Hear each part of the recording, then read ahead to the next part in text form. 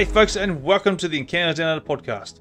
I'm your host, Anthony Goodall, and I invite guests to the show to share their amazing encounters with aliens and UFOs. If you or someone you know has had an encounter down under, or anywhere in the world for our new segment Encounters Unbound, please get in touch with me via the Encounters Down Under Facebook page or email at Australian UFO sightings at outlook.com.au. Be sure to join the Encounters Down Under Facebook page and YouTube channel where you can also get involved during the live stream interviews, sharing your thoughts and opinions during the live show. Also, if you enjoyed the podcast, don't forget to give us a rating and review on your favourite listening platform. But anyway, that's enough from me. Let's get into what you've been waiting for. Kick back and relax with your favourite beverage and enjoy the show.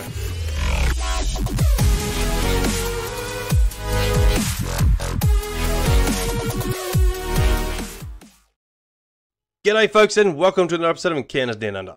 Kelly joins us on this episode who had an amazing encounter with a strange translucent object that could have been a craft or an organic entity defying the laws of nature as we know it. So please welcome to the show, Kelly. G'day, Kelly. Welcome to the show. Hi. Thanks for joining me. It's absolutely fantastic having you on. No worries.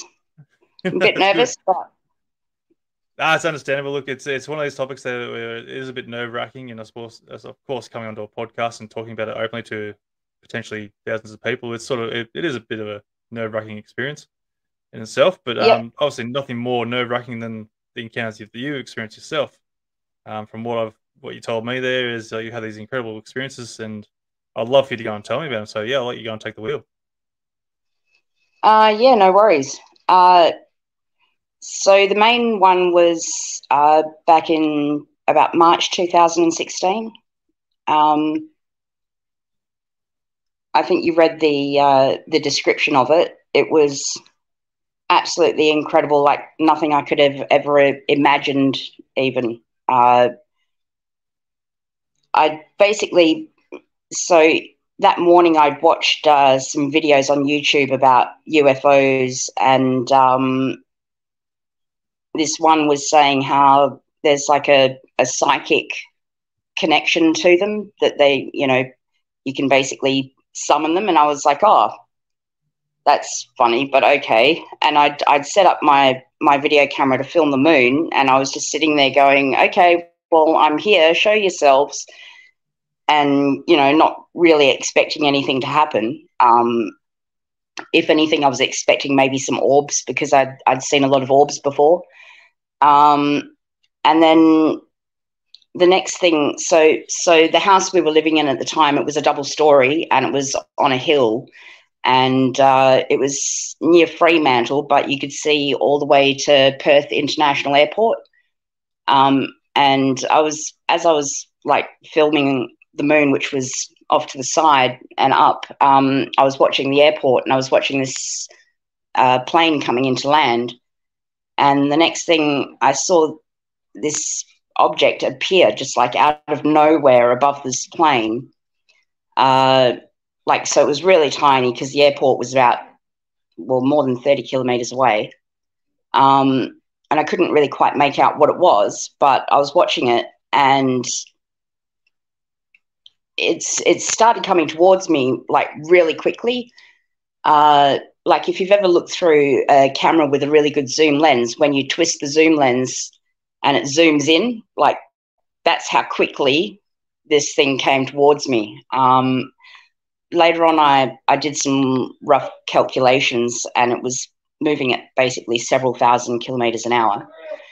Um, so when it first came into sight, it was like you know, like a fraction of the size of my pinky fingernail held at arm's length. And by the time it got level with the house, it was about the size of a small car, like a, a Volkswagen Beetle or something like that. Um, and I couldn't really tell, like, I couldn't tell what it was. It, it seemed to be made out of balls of light. Uh, it made absolutely no sound. It was a, a dead quiet night. I could hear the cars on the road further away than what, what this object was. Um, and I couldn't even hear it, like the friction of the air as it moved through the air. There was just absolutely no sound.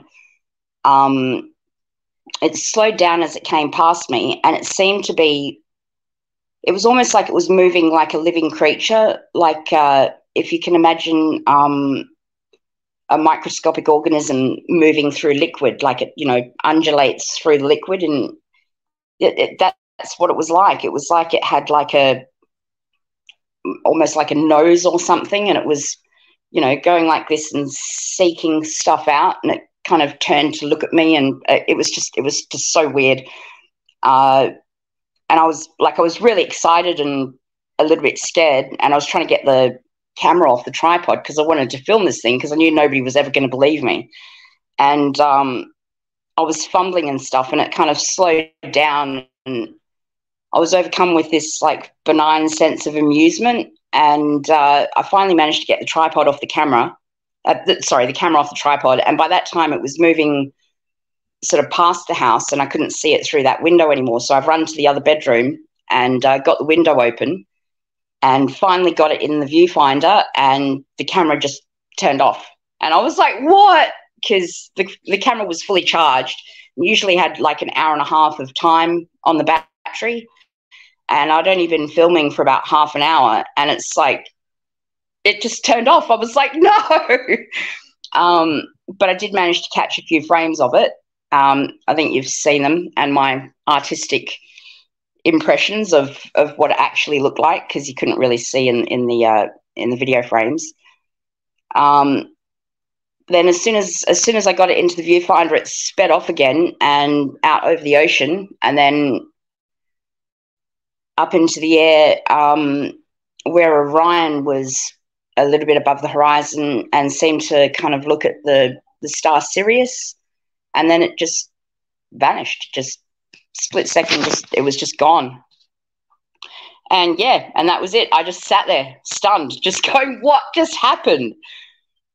It was uh, it was incredible.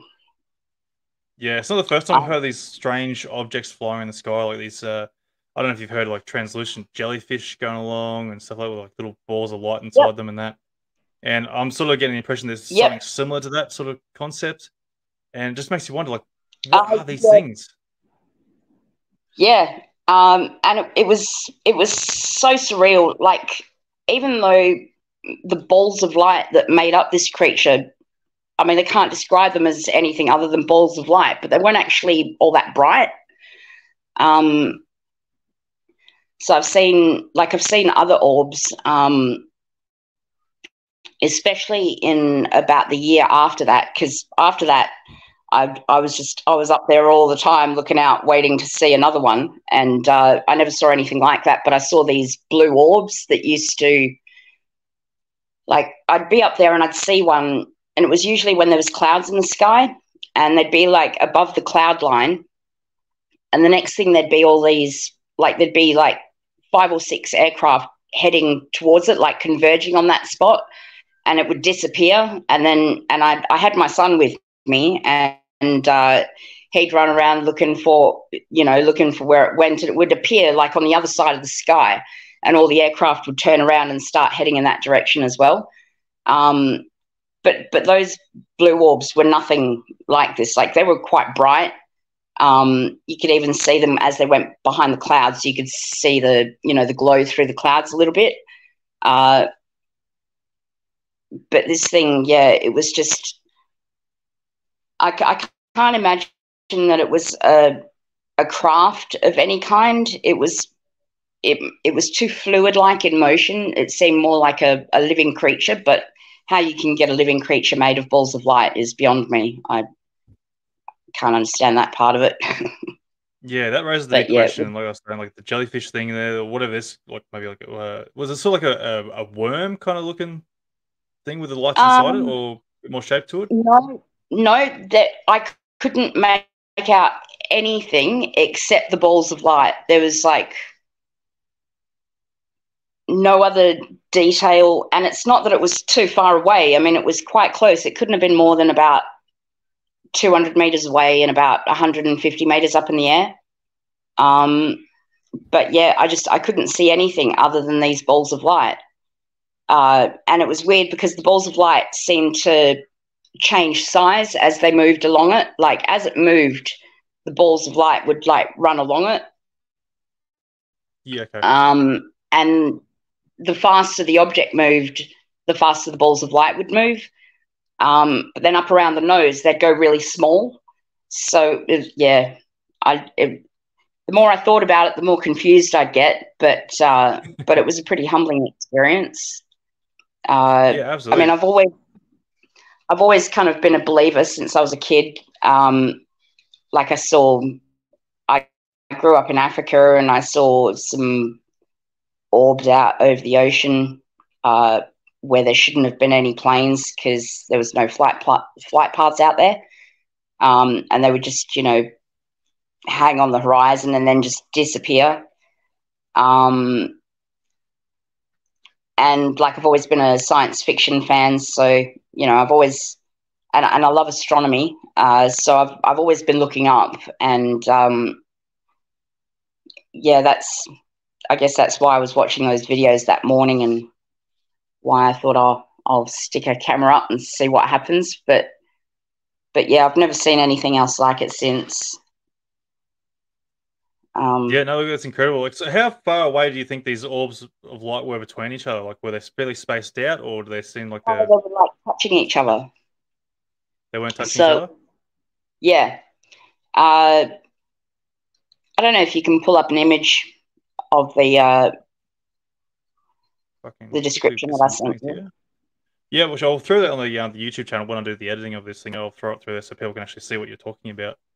Um. If can... But yeah, just looking at now. Um, so you're like you, you in the shape like the what you described is like it's sort of a bit like a wormish kind of shape to it from what you've Yeah. described in your artistic. and, and the way your, it um, moved. Yeah. So like Yeah. was that how many sort of uh, orbs there was inside the actual thing, or we is this like as it's traveling along kind of thing, like with a number No, of uh, that- orbs? that- Yeah, no, that's pretty much what it looked like as it was traveling along, but but the lights would be moving along it. Okay, so they're sort of Um, pulsing as a yeah goes along its path. Yeah, Okay. Yeah, okay, because that's incredible. So um, I'm just going through the, where the actual camera images itself there. Like I could see there's probably a little bit of shutter speed playing effect here. yeah. Um, so yeah. So, how big do you think the actual object was? so, um, to a rough Well, you said estimate, a bit of was Volkswagen, a bit of car. Yeah, yeah, sorry. size small car. Yeah, So th- that's actually pretty incredible. Like, I, I, obviously, we can't do much because obviously night photography is horrible in itself, um, especially when trying Yeah. to catch something on, on the, in the moment. So, but like you've done an incredible job here, I, I feel, and it's what is that one there? What's going on there? So we- what's happened here? Um, you've gotten one of these images here where you got the blue orbs sort of scattered everywhere with a couple little blue uh, red orbs here and there. If I can try and get this um quickly through here on so you can actually see what I'm looking at, um, which would be a lot better. Just give us a second. A bit tinkering here. Um, bring that up there. And see if I can get you to. Ah, I'm still getting used to this. Uh, to using this uh one here. So if I can get that up there. I can get that full screen. I'll not just save the image. Bugger it. We'll do like that. And oh, hang on. I think what's happened here could be like the uh, digital sort of effects here, where you, uh, well, I can't remember what they call it now, but you got the the pixelation of the digital pixelations. yep. Um, And plus, because it mixed between moving, the red and the blues, and yeah, sorry. yeah, and because it was moving as well, and because it was a poor Yeah. poor quality camera, so that's fine. Um, so the image what- in Photoshop more like to try and convey what I could see with my eyes, which was very Yeah. different to what the camera captured. Yeah, No, it's understandable. 'cause as I was saying, like you like you know, it is hard to do night photography, and a lot of people don't understand the difficulty of night photography itself. And any sort of Yeah. slight movement of the camera is going to create like a, a shutter speed effect, where it's going to el- elongate images and distort it to the buggery. Um, yeah, if I can try and exactly. This. So between the object moving and me moving the camera, trying to get it into the viewfinder, yeah, I I think I captured like I think it was like five actual frames of video, and in each one they're just all blurry and moving. But That's um, fine. please don't know I'm uh, not crazy because because I did catch something on the camera. yeah, no, you you definitely got something, and like you definitely can't rule it into being like a um, a plane because with navigation lights because obviously, um, I've never seen a plane have blue in the center of it, to say the least. Yeah. Um, and it wasn't a drone. I've seen I've seen loads of drones uh, at night and during the day. Um, I've seen drones with similar coloured, you know, lights on on on them. That it, but it's just it was nothing like that. And you know, unless there's a drone out there that's the size of a car that doesn't make any sound, then uh, then I don't think it was a drone. yeah. So all I've you should be able to see on um, your screen here. Should be able to see the screen. I've got the images up there now. So. Um, Uh, I think it was this one here I was referring to. So you got the blue streak coming across, yeah, and then you got obviously the little red orbs here. Like, is this part of the actual object itself, or what's happened here? If you have an idea. That's more just because I was because I was moving. Um, Yep. so there's another one. Uh, I think if you go back a li- uh, back a couple of shots, that that one there, yep, that's that's the most realistic uh, frame of what I saw. Yep. Um, you see how it's like moving on a curve. That's that's how Yep. it was going up and down like a like something moving through water almost. Yeah. Okay. Yeah. what- any idea Uh, this is like a street that- I don't light, maybe, or light- I think yeah, I think that was a street light in the distance. okay. No, that's incredible. Uh, like so, for people who um, are listening through the actual audio version only, so we'll um probably the best bet to go and look, look at our YouTube channel there, guys, and um, have a look. Um, and you'll see the bit of a I got a, the green top with a blue center and red on the bottom side. And if you can imagine, Yeah. it's like a bit of a worm with a you know with the edges, one side's green, one side's red, and with a blue center being its yeah center worm. Yeah. That's the best I can sort of describe it for the uh, those listening on the audio. But um, so the colors change a little bit here. That could be just a bit of a. Oh, you said you did a bit of Photoshop, didn't you? Uh no, not on that. That's just a pure screenshot, no Photoshop or anything. It's just uh it's just a single video frame. Uh the on, the first couple of images, um, those are the ones I just created them on on Photoshop just to try and uh, better show the shape of the object and how it kind of narrowed at the front like a nose. yeah. Okay. Uh, yeah. that's okay. also that's also just a, a video frame.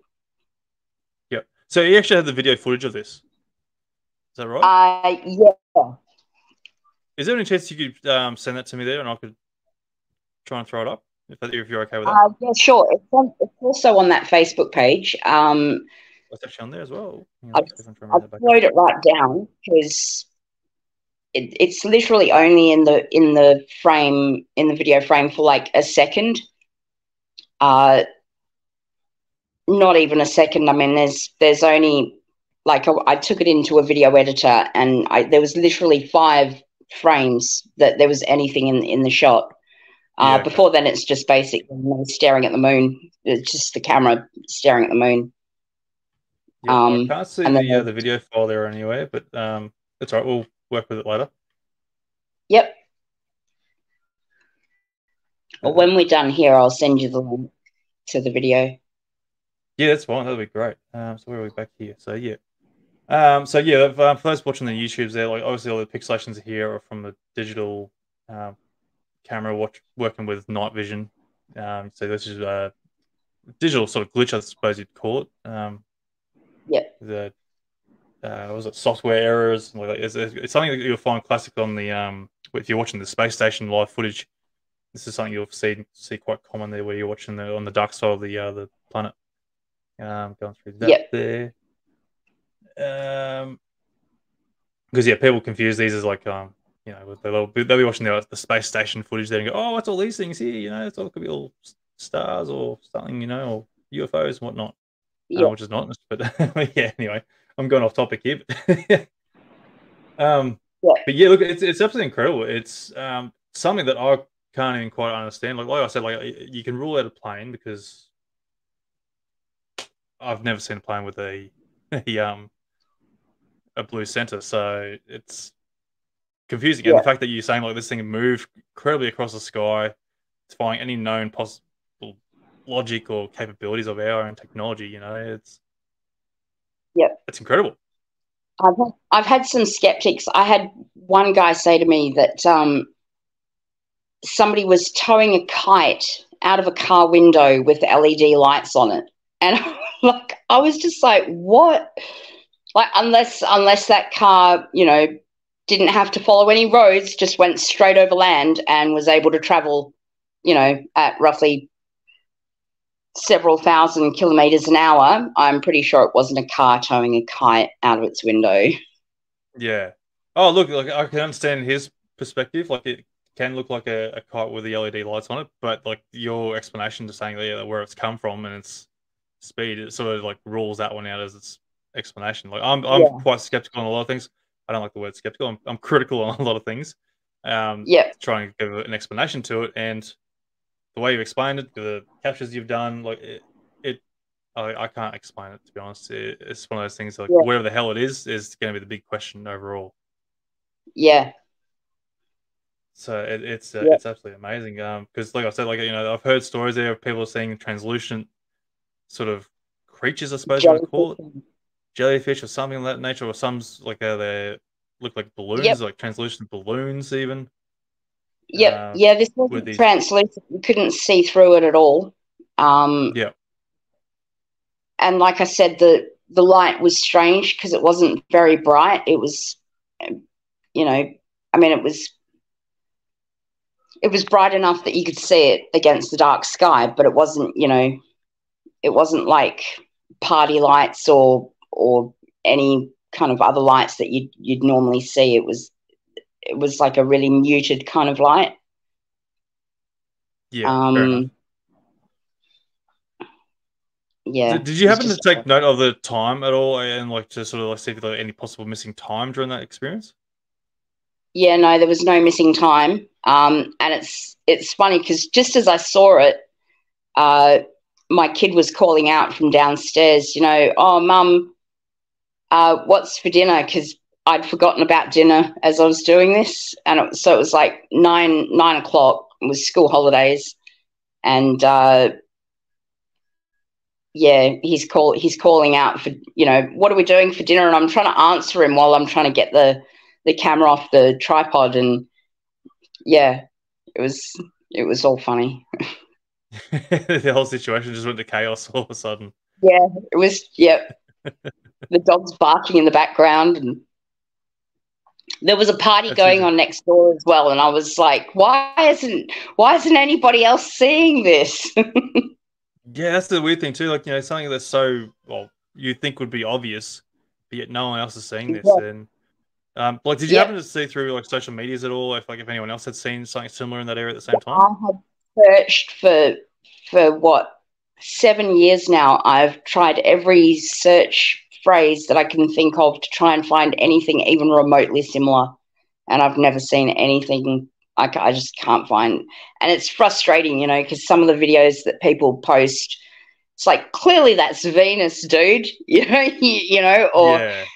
Or, or, there's a plane going past and they're like, oh, you know, I can't hear it. And it's like, yeah, but you don't hear planes when they first go past. You hear the plane after the plane has gone past. That's right. And, you know, so it, it's no wonder that there's so much stigma out there. Um, yeah. But like I said, I've I've been looking up since I was a kid. I've seen so many satellites, and you know, you can tell the difference between normal satellites and the International Space Station, for for instance. Um, I used to have a really big telescope. I've seen Jupiter and the Galilean moons, uh, like right there in front of me. Like you could just reach out and touch them um, or pluck them out of the sky, you know. Uh, and yeah, I used to like to go and uh, to the airport and like watch the planes come in right, you know, right near the run runway, so they come over you. And yeah, uh, I've done a lot of flying as well uh, through my life overseas and and around Australia. I've been in helicopters Um, and yet there's just there's just nothing that I can compare it to what I saw. I can't even I can't even uh, think of anything in the hundreds of sci-fi movies that I've seen that would that would uh, even remotely be comparable. Yes, that's it's the thing. Like, you, like you, you explain like something like you you've got a lot of knowledge behind you, a bit of experience there to sort of try and even remotely try and challenge what this could have been. And yeah. again, you're you're still stumped on the possibility. Yeah, and like I, I can't even figure out if it was a craft or a creature, or like the the best I can come up with is that maybe it was some kind of interdimensional being, or um, if it was if it was man made, then maybe some kind of a holographic projection. Uh, but yeah, but that sort of stuff is is beyond me. Yeah, but to even go for a holographic projection, like you you explained that it had like some sort of like intellect to it, like you know, sort of consciousness as it slowed down to look at you. Well, that's what you felt it looked yeah, what it was doing. and I feel like if it was a holographic, it wouldn't do that.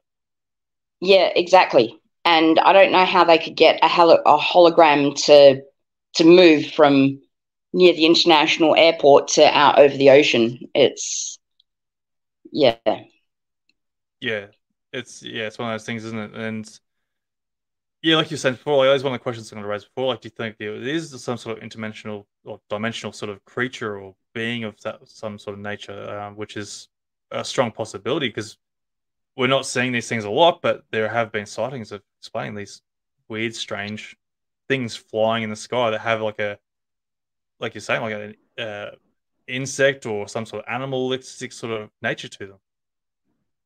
Yeah, so it's where do you go with it? It's, it's one of those things. I know, I know. I uh, like I'm I'm a member of all the UFO groups, and I'm always always looking. And like I said, I've I've searched every search phrase that I can think of on on YouTube and Google, trying to find anything remotely similar. And and I've also done the whole thing of you know sitting there with the cameras saying, "Okay, well, show yourself to me. I'm I'm I'm waiting," but it's never it's never shown itself again. Uh, I've got I've got a mate who's a, a real skeptic, um, and we go marroning every marron season, and uh, we were sitting there waiting for for you know net pulling time, and uh, I did a little thought experiment. I, I sat there and I and I was like, okay, I've got a skeptic mate here. Come on, show yourself. And uh, it was funny because this this well, it looked no different to any other star, right? It just it was like it was a totally clear night, and and this star just appeared, and uh, about fifteen seconds later, it disappeared, and I was like, "Oh, hey Gary, look at this!" And he's he's looked, and just as he's looked, it's like just turned on again, and uh, I mean, it didn't move and it did this for about 20 minutes. Um, just, you know, turning on for about 15 seconds and then turning off, but it didn't move from its space, from its spot in the sky. So it couldn't have been a satellite. It couldn't have been a plane. Um, but yeah, but it was nothing. It was nothing spectacular like like this thing that I saw was, and I was like, oh, maybe they didn't want to blow his mind too much. Maybe they just wanted to ease him into it, you know? yeah. Like, how long was um, the light actually staying on for, or was it like a, a flash kind of thing? No, it was so it would just come on and would just look like a star, and it would stay on for about 15 seconds, and then it would turn off, like just disappear. And it's not like the other stars around it would disappear, they were all still there. So it was, you know, and yeah, and that baffled him. I mean, he's a a pretty smart guy. He's got a strong grasp on uh, quantum physics because he, he does telecommunications and has to deal with light photons and stuff like that. And yeah, wow. um, yeah, he was baffled. Uh, but yeah, next next Marron season, I'll I'll try it out on him again. I'll see if it can.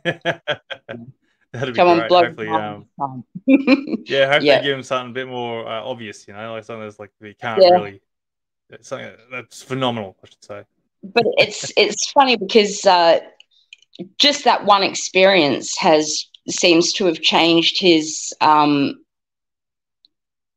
uh, his perception of the whole thing. Like before, before he saw that that light turning on and off in the sky. Whenever I tried to tell him about my UFO experience, it was you know ball lightning or uh, you know me hallucinating or all these other things. And now it's like now he's like, oh, I I can't I can't figure out what you saw. I I can't you know it, ma- it makes no sense. Whereas before it was like he was just not receptive to the idea at all. So Yeah. yeah, it's interesting That's how the that hard works. thing too. Yeah, like that's the hard thing too. Like a lot of people who haven't had an experience there, they don't believe in something like this, and then all of a sudden they Yeah. have a something that sort of defies their own known logic, and they're like, "Okay, this." But now I'm questioning reality. Like, what the hell is going on around us? And then next minute they want to Yeah. get right into it. And even, I love that. Like, you know, for me, like, it's sad that like it has to get to that point, but it's still I love it though because like they're actually showing some sort of evidence in their own spectrums that go and sort of blow their mind and go, okay, I need to start questioning things more, you know, and that's Yeah, the part I love about this whole topic, you know, because people have had incredible experiences there, and some not as phenomenal as others, but you know, there's still so much to question this topic, and there's so much more to go for it. And yeah, for me, the, the, I want to show these. Uh, I want to go. I want to call skeptics, but but no, the, the non-believers, and I want to show them the proof. I want to give them the evidence, like you know, these things are happening around you. Like, stop stop denying. Okay, yeah, there's no real Yep. hard evidence of it, but these people are having experience of something that's denying our known logic or our own capabilities of technology. There's some strange Yeah. universe out there that we don't understand. Yep. So, yeah, to me, that's the, Oh, that's why I love all these Chinese, this Chinese balloon stuff. Oh, that's been driving me insane. Because now everybody's like, oh, well, so all UFOs are Chinese spy balloons. It's like, no, dude, Yeah. no. Yeah, And, and that's a pretty good little tactic there, to be honest. Uh, like you know, because the past uh, what is it, six years we've been going on now. Um, like you know, with the U.S. government, they're admitting to there's some sort of UAP, some sort of phenomena out there they don't understand. And now Yeah. these Chinese balloons came into it, and they've turned around and gone, "Well, these are UAPs of some sort." And it's like, well, they're not UAPs because they're not doing anything phenomenal. There's nothing that's Yeah. even a nature of the, a phenomenon to be even called a UAP. They're just stationary Yeah. things that you've hit, hit, up on the radar. You've had a Chinese space, uh, Chinese balloon that you think is spying on you, and you've gotten paranoid and just started shooting whatever the crap out of the sky that you think might be a spy balloon. There's Yeah. nothing even even related to the UAP nature. so Yeah. it's like, whoa, so now Uh, they, they've sort of ruined the UAP topic again. yeah. Uh, so do you follow Ross Coulthart? A little bit, yeah, yep, when I can. Yeah, his uh, his uh, podcast on the uh, on the Chinese spy balloon thing was was pretty good. It was pretty funny. He was getting fr- pretty frustrated, but um, he had some pretty good insights. Like, you know, the whole like there seems to be something going on between uh, the U.S. Navy and the U.S. Air Force. Um, so yeah, it's been pretty interesting to follow all that.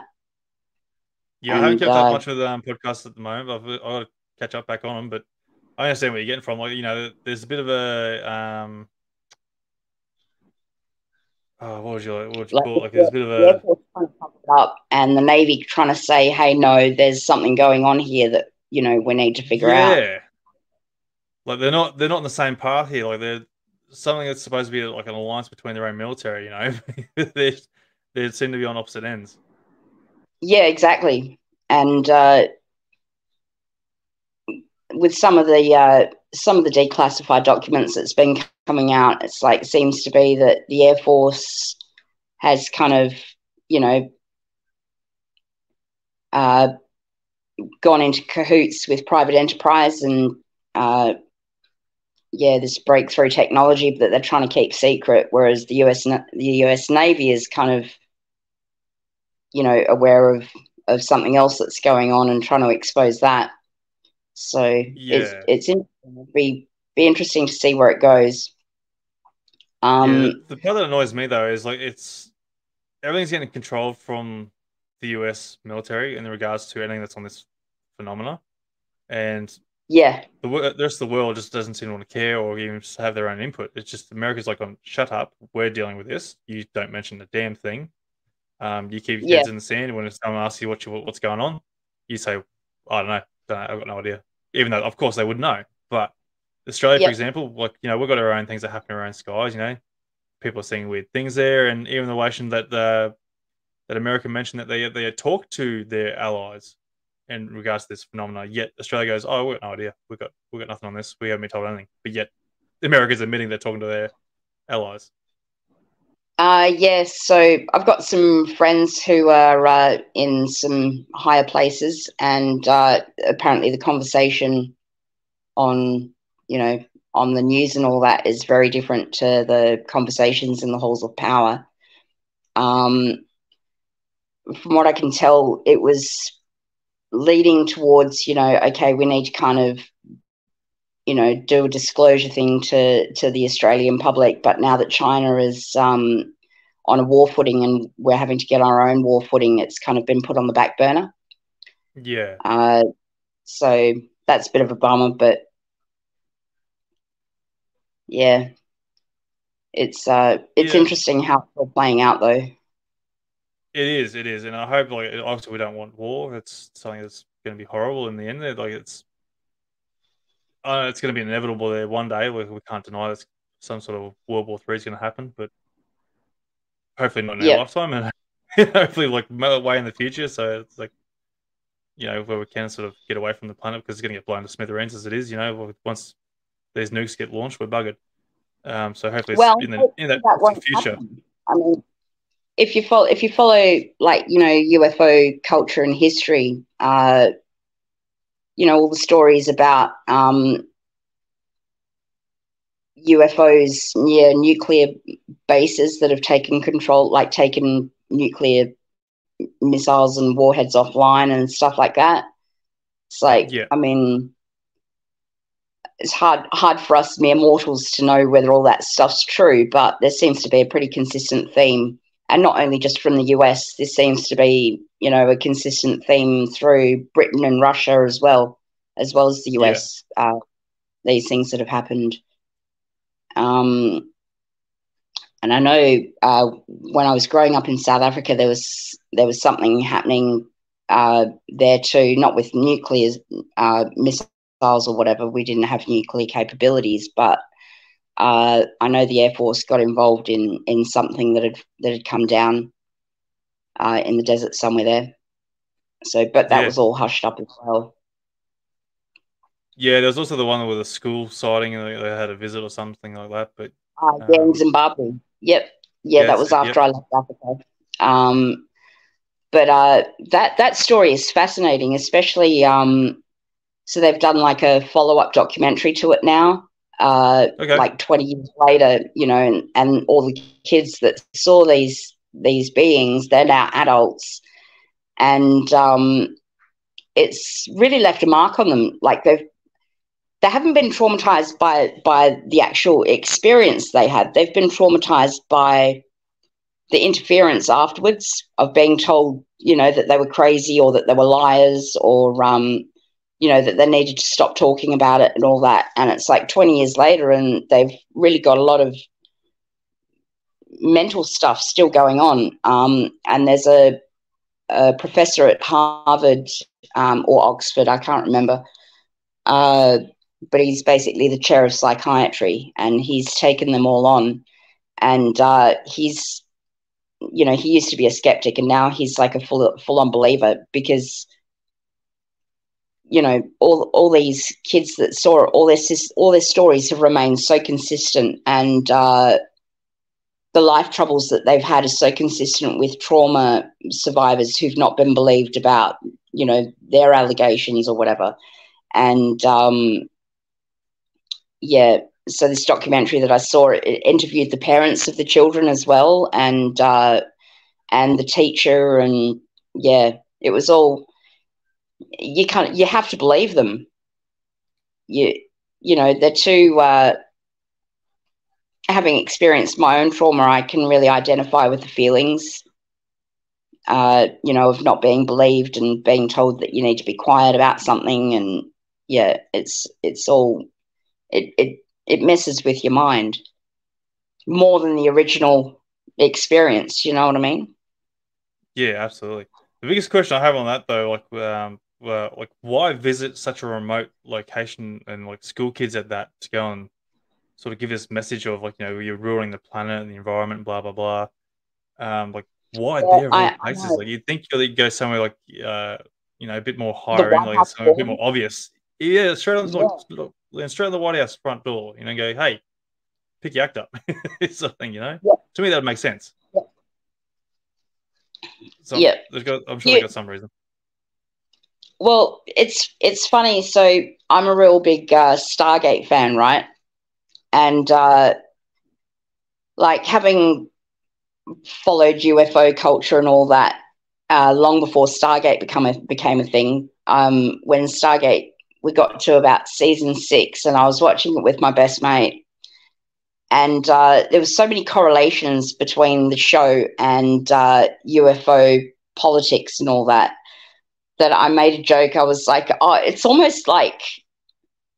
There actually is a Stargate under under Cheyenne Mountain, you know, and and this is like a documentary rather than a sci-fi show and uh, it's like you know it's like hollywood's like using it as mass desensitization or plausible deniability and we were having a real big laugh at it and about two weeks later the next the next episode came out and it was called wormhole extreme and uh, that was it was basically about so this alien has has sought refuge on earth and he's been taking medication to make him forget that he's an alien um, but these memories have been sur- surfacing, and he thinks that they're just his imagination. So he's right. He writes this show, and it's like he calls it Wormhole Extreme, and it's basically a takeoff of Stargate. And uh, all the all the commanding officers at Stargate, you know, they're all like, "Oh, there's obviously a leak, and we've got to contain the leak." And the general's like, "No, we're just going to let it go." And uh, the Stargate team are like, oh, but why? Why? Obviously, there's a leak, and and one of them says, ah, mass desensitization and plausible deniability. And me and my best mate just looked at each other, going, what? well, that's what that's what I sort of feel like needs to happen. Like you know, mass des- desensitization, and I feel like uh, Yeah. maybe like the Phoenix Lights could have been like a a jump to that maybe because um, that does uh, like thousands of people seeing that over there. But yeah, then like um, for me, I sort of feel like they sort of do need to go and do like a mass desensitization, like put them in different locations, but at the same time, all across the ro- world, so people can actually see them, and like in mass populated areas. And so just just so like people go, oh, something's weird happened here, and something's weird happened over here. Like, oh, there could be something relation. People might have a bit Yeah. of a panic at the start there, and like, oh, what the hell's going on? But you know, Mm. I think I think we'll do pretty well with. Well, everyone's probably going to buy start buying milk, bread, and toilet paper, but that's probably about the worst of it. Yeah. you know, toilet paper apocalypse again. yeah, I, I feel like that's probably going to be the worst of it, and people will like go back to their normal lives. Like you know, the fact that the, the U.S. government even admitted to their footage or some sort of acknowledgement that there is some sort of phenomenon out there they don't understand that's going against the most powerful uh, military in the world. You know, something that's above them that they can't even comprehend or even can try and control. Um, yeah, yet no one cared about the whole situation. They're like, oh, okay, cool. Something's out there that's weird, whether it could be Russia or China. But they even said it's not Russia or China as far as they're aware. So then who the hell Yep. is it? And why is no one panicking then? Like, you know, there's something that's that could easily blow us up if they wanted to. yeah, So it's like, where's that panic? Yeah, So I also feel like, you know, if that is something that was some- sort of massive uh, desensitization, I don't think many people would care. They just go against their lives and start watching TikToks their- on their phone again. Oh, yeah, cool. No worries. Yep, whatever. yeah. So, That's it. Even people who were getting who were getting interested in it, you know, with all the U.S. Senate hearings and all that, and then the minute the Chinese spy balloon stories came out, they were just all like, "Oh, it's just Chinese spy balloons." Like, yeah, and it became the joke of the social media again. You know, like, I've seen Yeah. it. It's like everywhere. Anything to the form Yep. of light now is Chinese balloons. Like, yeah, okay, cool. All right, the joke's over, but yeah, right. Come on, let's get back to reality here. uh, it's funny the world we are in. Um, so, like, was Yes. that the, then the only experience you've had? Uh, no. So after that, uh, we saw a lot of the uh, the blue orbs, Um, Yep. and that was that was funny too because they seemed to be playing with. Uh, so you know how I mentioned that these aircraft, like, so there'd be That's right, multiple yes, planes a couple of helicopters that would like converge on on on this blue orb, and just before they got there, it would just disappear and reappear on the opposite side of the sky. It was almost like it was playing with them. Uh, and my son and I saw saw those episodes like several times over over about six months. Um, we haven't seen any of the blue orbs since we've moved down to Port Kennedy, but um, uh, yeah, it w- it was it was pretty full on for a while there in near Fremantle. Yeah, fair enough. Um, other than that, no. It's only ju- it's just been strange lights that you know might have been a plane or or something, but couldn't really tell.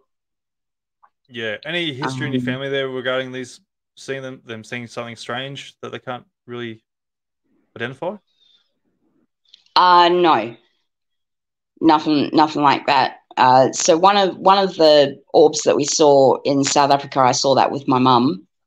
Um, but yeah, she just it really only tickled her fancy at the time while we were watching it. She didn't really think about it much after that. Yeah, fair enough.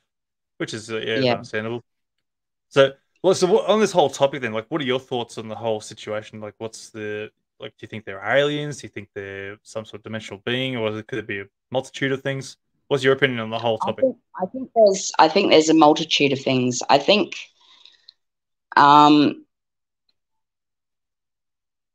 it's really hard to know where to draw the line on what's what's bullshit and what's you know what's real. Um, but my best guess is that there's there's multiple uh, extraterrestrial species that have been monitoring Earth for maybe going back thousands of years. I think there's an, a separate interdimensional element, and I think there's also a uh, a human ele- element. You know, where they've where they've used recovered technology or back engineered something, and uh, you know, it's all above top secret type stuff. And so I think I think a lot of the confusion about everything is because there are multiple aspects to it and so it can be hard to identify you know what's ours what's theirs what's what's not even from this plane of existence what's from something else um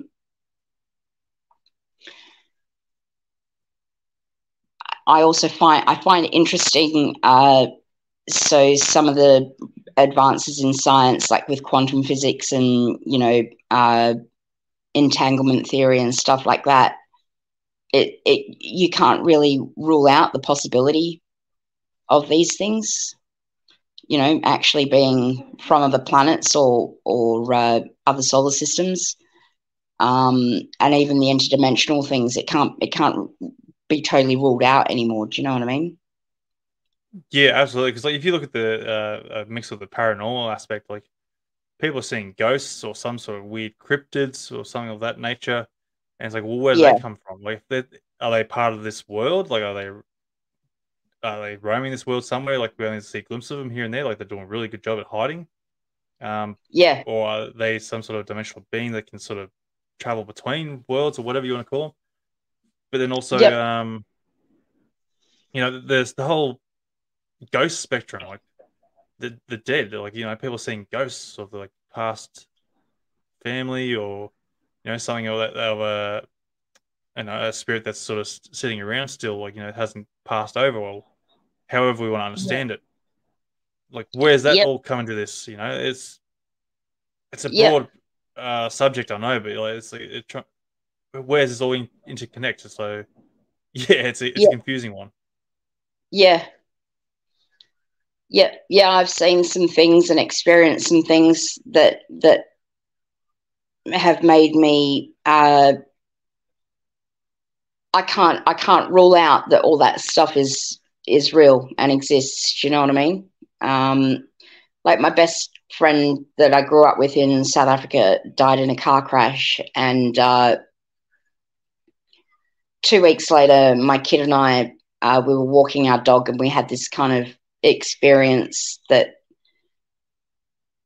I don't know if it was just grief induced or, or whatever, but I decided I was going to get a Jack Russell and uh, and name it Jackie after my best friend. And uh, the clouds kind of parted, and uh, my Irish Wolfhound, you know, did this weird thing like saying, "Yeah, yeah, that's a good idea," type thing. So we ended up getting this Jack Russell, and lo and behold, this dog has got my dead best friend's eyes.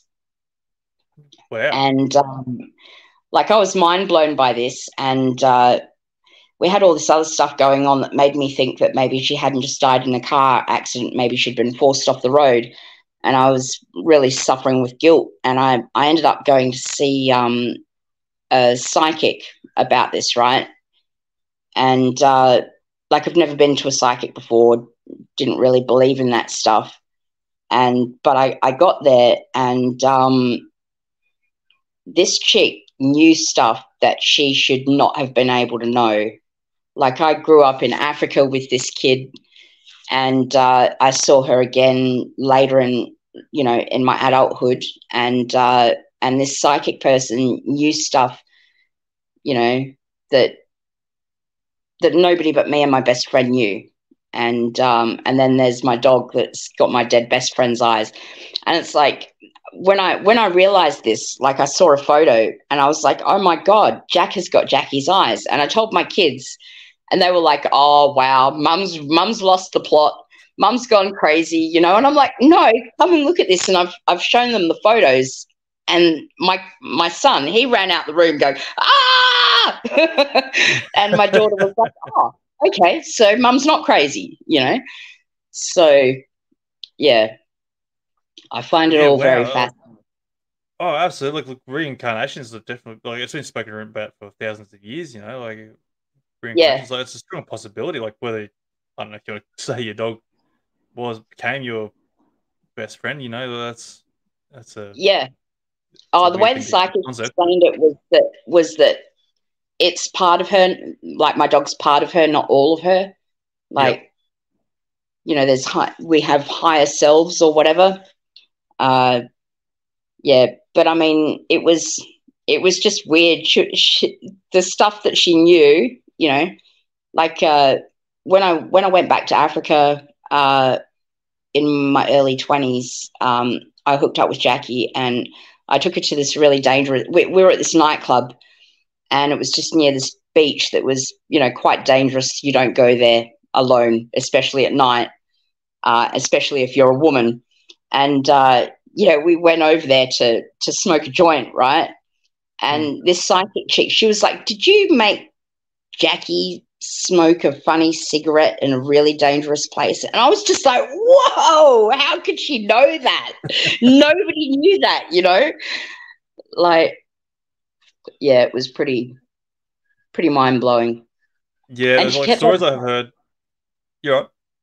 uh, she kept on saying she she was like you know uh, and I, I keep on uh, tasting a really strong artificial banana flavor and it was weird because when we were kids like we'd get our bags of lollies and i'd swap all the all her raspberry stuff for for my banana flavored stuff she, she liked banana flavored quick and stuff like that and i was just like whoa Mind blown. Wow.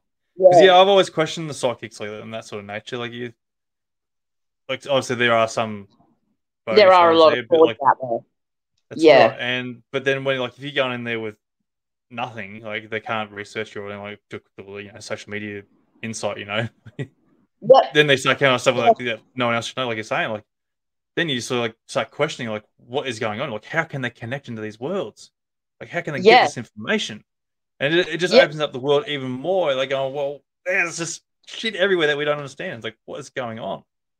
Yep. How can people still be so naive and narrow-minded to go into like this is our reality and this is it, that's all we've got? But yet you have all these Yeah. stories from people seeing UFOs, ghosts, having some sort of psychic abilities, being able to talk to passed away relatives. You know, Yep. where's all this aspect to the nature of our lives? Where, like, why isn't this a an everyday thing? Why isn't this our reality? In in that Yeah. sense? Well, because anybody who speaks it gets locked up or That's gets right, a yeah. visit. men in white coats. You know what I mean? Yeah, like I've said this before in previous podcasts, and I'm sure people probably get sick of it. Like, I I hate the churches. I'm not much of a religious person. I'm not judging against religions. I don't care. That's your thing. You do what you want to do. But my biggest thing is like um, religion controlled a lot of the, the narrative of the world to what it is today. Um, yeah. You know, over the centuries, there, you know, going back in medieval times where the Catholic Church controlled um, most of the world, really. Uh, the Roman Empire is coming into it, and Yep. that was against that religious nature. The you know you you got killed. Simple as that. Yep. Uh, yeah. So, okay, for for myself, so I believe that there's a higher power, right? but. I'm I'm also anti-religion. But as soon as you say to somebody that you believe in God, then you're like they label you as religious, and it's like, dude, I don't go to church. I freaking hate church. Yeah. You know. Um, but that said, uh, so the Bible. Now I don't I don't read the Bible a lot, right? But um, my kids and I were going through some stuff, and we started doing this thing. We play Bible roulette. Uh, we'd sit on the bed together, and I'd hold the Bible, and I'd ask the kids, "So, what do you want to know?" And they'd they'd ask me a question, and we'd fo- we'd you know we'd focus on that question, and like while I held the Bible, and we'd put all this thought into it, and then we'd open the open it up just on a random page and read the answer, and uh, we we ended up we ended up stopping doing it because it was too mind blowing. Yeah, Like okay. like they were asking something about you know uh, mum, how does mum always know right? And uh, so we've asked the bible how, how does mum always know? And we open it up and it says always listen to your mother. And the kids are just like what? You know? And then um, and we had this we had this irish wolfhound uh, her eyes her eye shine used to change color and her personality used to change color with her eye shine and uh, whenever her eyes were orange, uh, she would like she would predict danger. Um, like she predicted a, a house fire next door half an hour before it happened. Um, she predicted men on our roof, um, intruders in the backyard. It was like whenever her eyes were orange, it was always just a little bit before something you know scary or whatever happened. And they're like, "Oh, mum, ask the Bible about about Maddie's eyes." So we, we've asked, why does our dog's eyes, you know, why does her eye shine change when our other dogs, their eye shine doesn't change? It's always the same. And uh, we've thumbed the pages and opened it up. And uh, so I'm trying to quote word for word what I read. It said, He whose eyes uh, shine golden, not red like coals, but yellow like the sun uh, he be a kinship redeemer and a true prophet. And like, we were just like, what the hell? Right. And I've slammed the book shut. And um, yeah, I, I spent, I don't know how many hours trying to find that passage again. I've downloaded, um, I've like, I've downloaded, you know, Bible search tools where you can search various versions of the Bible. And I've tried to, you know, find that passage again. Um, and I've never been able to find it. And like for a while after that, we actually started taking photos of whatever we read so that I could, you know, prove, hey, this did actually happen because yeah, not being able to find that verse, it's like, and the only reason that I know that I'm not crazy is because my kids were sitting right next to me and we all read the same thing.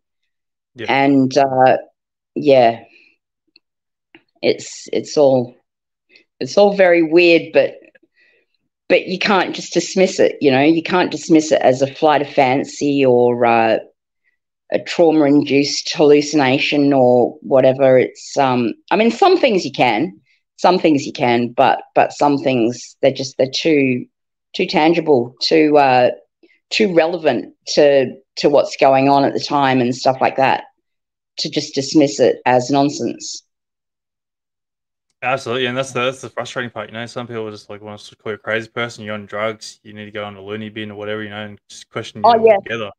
You know, Yeah. but yet, like you're saying, Yeah. you know, there's there's too much stuff in the world that's happening. Like too much common ground of people's experiences, their encounters, to to dismiss it. You know, like as you say, like uh, like I'm like I say, I'm, I don't believe in religions, but there is a higher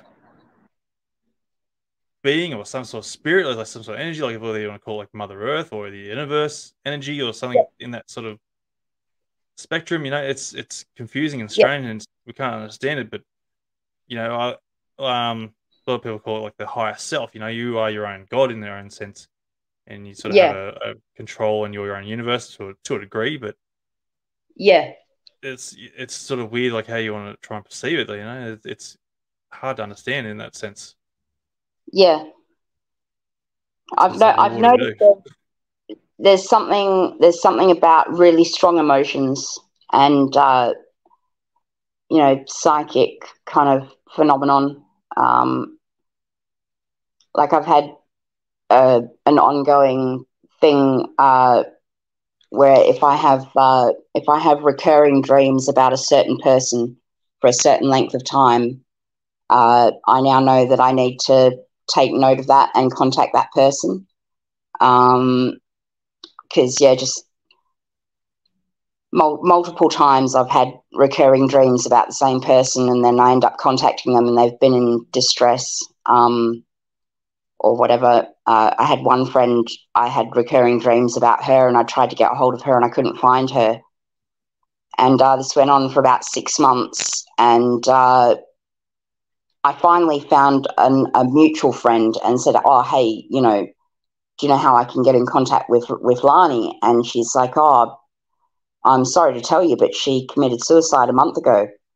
And it was like, yeah, that was like it was devastating for me because it had been like six months that I'd been dreaming about her and I felt this need to find her and check on her, see if she was okay. And, and then like, you know, a month before I finally found out how to do that, she'd, she'd killed herself. Late, uh, yeah. so, so, now I, I really take note when I have uh, recurring dreams. And it's been, it's been uncanny. Like I kept on, um, so I had a, a coach in South Africa. I was a a, a really good high jumper. Uh, I made um, you know the state team, and I was training for the Barcelona Olympics. And my coach, I just adored him. He was a real father figure to me. Um, and I was devastated when I left Africa because I had to leave him behind. And then, and we wrote for many years, but then we lost contact. And then, um, in about 2015, I started dreaming about him all the time, and and I was like, oh, why don't I just like look him up on Facebook? And uh, I couldn't find him, but I found his son, and uh, yeah, got in contact with him. And Cecil had uh, just gone into hospital uh, for cancer, and it was like just the timing was, you know, was uncanny. I got to speak to him on the phone and stuff, and you know, he was really emotional and uh, you know, oh, your call was the best painkillers that I've ever had, and stuff like that. So I, I do I do believe that there's something something that we don't understand with regards to you know psychic connections and and all that sort of stuff. Yeah, absolutely. It's I don't know. People say like your your vibrations. You know, it's like your your frequency. Your antenna, basically your frequencies and sort of stuff like yeah, like you know, it brings in different sort of uh, abilities, I, I suppose, or different connections and stuff like that. And that's the one of those parts you're trying like, oh no, that sounds like real.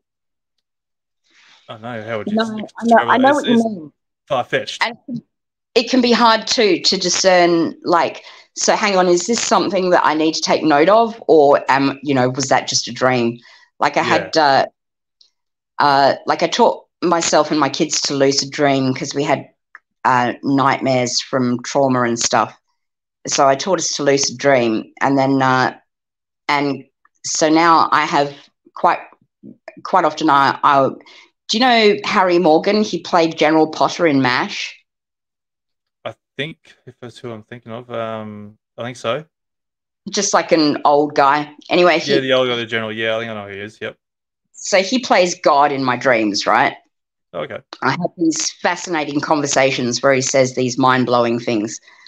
Anyway, I was having a, a, conversation with him and about something about, you know, he, he reckoned um, that the word prophet needs to be changed to you know the, the, the term false prophet has come to have negative connotations and uh, needs to be changed to the spelling of profit as in financial profit and uh, oh, and by yeah. the way, you need to tell you need to tell Toby that his sister needs to go back to the neurosurgeon because her cancer is back. And it was like so three o'clock in the morning. I've woken up right. Basically, God has just told me that my best friend's sister, the neurosurgeon, didn't get all of her brain tumor and need and she needs to go back. So in my panic, without thinking it through, I've just straight away messaged my mate, "Hey, Sam needs to get back to the neurosurgeon. Right? They didn't get all the cancer." And then I've like, okay, job's done, gone back to sleep. And in the morning, I woke up and I was like, oh no, what have I done? Oh, I'm such a terrible person. You know, like I had this dream and I've just like messaged him. He must be so, you know, worried and upset. And I'm, I'm such a horrible friend. And uh, I didn't know what to do. I didn't contact him to apologize. I was just, I was mortified. I was so embarrassed and I was so ashamed, right? And, uh, about a month later, I was I did this test online. You know, how psychic are you? And I got I got that I was um, omniscient or something, and I was like, oh, that's funny. And I posted a screenshot on Facebook, and a second later, um, my my friend liked it, and I was like, and he doesn't usually interact on Facebook, and I was like, what the hell? Toby still is still talking to me, and I, so I messaged him. I was like, "Hey, Tobes, how how you going? How's Sam? I'm really sorry about that night." And he goes, "No, it's all good, Kel.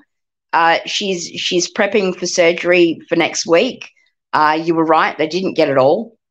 And uh, yeah, and she and and I was just like, "What? what is going on?" You know? Yeah. Um, it's, it's amazing like how some people can have these abilities of to be able to do this. That, that's the biggest question. Like I find confusing is like why do some people have these abilities but not everyone has a sort of uh, interrelatable sort of connection. If that makes sense. Yeah, but I mean, but but that it's also frustrating because there's been times in my life where a warning would have come in really handy. You know, for instance, yeah children safe and there's been nothing. There was just there was no no hint that you know i needed to be worried. Um so so it's it can be frustrating as well. Yeah or where's next week's lotto numbers. Like come on give us something helpful you know? Yeah yeah yep. Yeah it's it's weird. Like how do we how does people have the ability to go and dive into that spectrum to be able to have some sort of weird information gets sent to them on rare occasions for something that they don't understand. Like it, it, a lot of times too, it's very um, cryptic information that you get that you have to go and pull yeah. puzzles together and go, well, what's this supposed to mean? Instead of going, yeah, hey, that guy over there is like you're saying, like you know, that person over there's got a brain tumor. Like that's an obvious, you know, hint. Like you know, go and help them out. Give them, give them yeah. an idea. You know, it's like why, why can't it all be like that? Yeah, yeah, how come, how come I how come I was able to give Samantha a heads up about her brain tumor, but you know other people that have really meant a lot to me. I mean, Samantha wasn't even my friend; it was just her brother. Yeah. Uh, but you know, but then there's been other people really close to me, and there's been no no hint to me that they needed to go to an oncologist. You know what I mean? Yeah, or even like you know, like uh, someone who's just on the verge of like developing some sort of illness, you know, like where where it could have been saved, you know, well that, that sort of information it's quite helpful to me. Like I, I feel, you go, hey, look, yeah. keep an eye on this spot here, you know, this spot right here, like you might be getting like stomach cancer or something like that, you know, get get yep. scanned out. You might have some sort of abnormality there, and go and get that checked out, and you you know you'll be saved. Instead of going through all the pain and bullshit that you know cancer does, but like, uh, it's a weird. And the, and the, method of delivery. I mean, who would believe? Harry Morgan told me in a dream. That's right. I think uh, I think a lot of people will choose Morgan Freeman to be their god, but you know, each their own. Well, yeah. yeah, it's, look, it's, it's, weird. The last time I dreamt about Harry Morgan, uh, I was I was sitting there talking to him, and the next thing, Barack Obama popped his head over my shoulder, and he said something so funny that I laughed so loudly that I woke myself up and freaked my dog out. Like my dog jumped off the bed, right? And but do you think I can remember what he said? And I'm like, no. oh bugger. Yeah. It's weird. Um, it's a weird world. It's a weird environment. It's a weird concept in general. And you can sort of understand where people sort of you know throw the topic as taboo, but like yeah. I said, like this these whole experiences, the encounters, people like have been dabbling in this spiritual sort of aspect of nature. You know, it's been around for thousands of years through different, uh, uh different sort of civilizations and stuff. You know, yeah, there's something to it. There's more to it than what people sort of want to try and disregard. and that's the hard thing in trying to get the reality out there.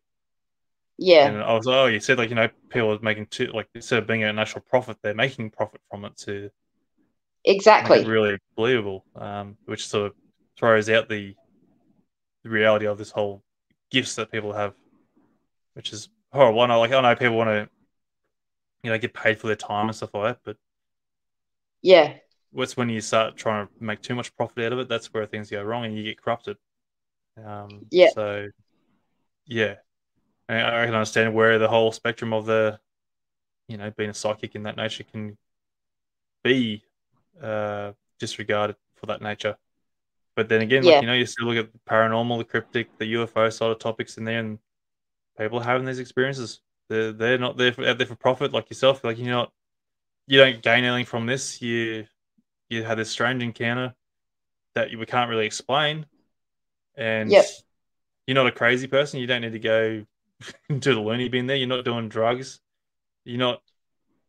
Yeah, you know, no, no one the people where you're hallucinating just for the sake of hallucinating of something, some illness or some sort of drug-induced hallucination. You know, it's yeah. And, and I'm not saying that anyone, well, everyone that even, if I, even if I was, you know, and there's this whole uh, this whole mass hallucination phenomenon where multiple people will have the same hallucination. Like, how how could my digital video camera share my hallucination. Exactly. Yep. You know what I mean? Yep. Which is so, uh, it's probably a good thing to like you got that sort of bit of evidence there to help back you up. Like it's nothing like to give that define credible evidence to, but it's still something that's quite strange in the nature to go and give more credibility to your story. Yeah, exactly. At least I know I'm not crazy. yeah, absolutely. And like, and like the best thing too is like you got multiple different colors there that sort of throw a lot of confusion to what the object actually is. Whereas a lot of people say like, oh, I've seen this object and it's usually just one little light, and it's yeah. got the, the camera shutter speed, and they're trying to say, oh yeah, no, look, look, it's this is what I've seen, and it's like, well, look, your story can be credible, but what you're trying to show me gives no credible evidence to sort of back up your story because there's nothing to really give that evidence to. Yeah. You know, or credibility to, you know, and it's not that we're trying to question what you've seen. Uh, it's just more the fact that, you know, it can't give that more evidence to what you're trying to show, basically. Or yeah. Explaining, if that makes sense. I think I'll muddle that up, but I hope it made sense. uh, I know what you mean. I know what you mean. Yeah. So yeah. um yeah, look, look um look before we finish up, is there anything else you want to like add to this whole thing at all? Any like any final words? Uh no, not really. Just I'm very keen to see where it all goes. Yeah, actually, so where do you think we'll go in that in that of mm, I I was I was getting pretty excited about like official disclosure, but um I can't see it happening anytime soon now. It seems to have, you know, backpedaled a bit. Yeah. Which I, I sort of I'm on the same sort of path to like the whole Chinese UFO thing sort of threw us back tenfold. Whereas you yeah. know, the, you know the fact that we were getting disclosure through uh, U.S. Congress and that sort of stuff, and it was actually progressing. But yeah, I, I can't see it happening now. It's thrown us way back to square one, basically. I feel. Yeah. Yeah. Unfortunately, I think that's the case too. Yeah. Oh, look, um, if you've got nothing more to add, um, like I'll guess we'll finish it there. And look, uh, all I can say is like, thank you very much for coming on the show. It was absolutely wonderful having you on. Uh, no worries. Thank you. Oh, actually, I will make a recommendation. So I'm currently reading Avi Loeb's uh, Extraterrestrial. Yep. Um, and I'm really enjoying it. It's really good. That's awesome. So, I'll, I'll, I'll, throw, uh, if I remember, I'll throw a link in the other thing of there so people can have a look at um, Avi Loeb's book. Um, Yep. He's an incredible person. He's actually one of probably the, the one top scientist there that's sort of trying to throw the disclosure out there, you know, which is Yep. pretty good. If um, for Yep. those who don't know who Avi Loeb is. Um, Yep. But yeah, look, um, I think that's pretty much it. We'll um, go from there. And um, yeah, look, thank you very much for coming on. It's absolutely wonderful having you on and sharing your experience there. It's absolutely fantastic. And hopefully we'll find some answers there of what this um, bloody thing is that you're seeing. you know, just want to get an idea of what we are looking at. So um, yeah. Yeah. again, thank you very much for coming on. No worries. Thank you. And that will do it, folks, for this episode. I hope you enjoyed the show. And don't forget, if you or someone you know has had an encounter, please get in touch with me to be featured on the podcast. If you're a fan of the show, you can support the podcast by purchasing some awesome merchandise that's available on our online store via the link provided in the episode description. So thanks for tuning in, and I look forward to seeing you on the next Encounter Down Under. Hooroo!